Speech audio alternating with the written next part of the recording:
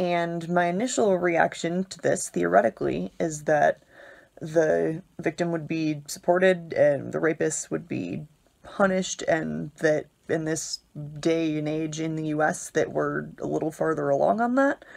Um, but then it immediately comes to the reality that that's only if it's a really clear cut situation. Um, as soon as there's any gray area, you know, if people are questioning what they were drinking, what the woman was wearing, etc., if she was feeling guilty about ruining his image, or if something was really bad enough or really worth reporting, that could definitely not be treated as such. Um,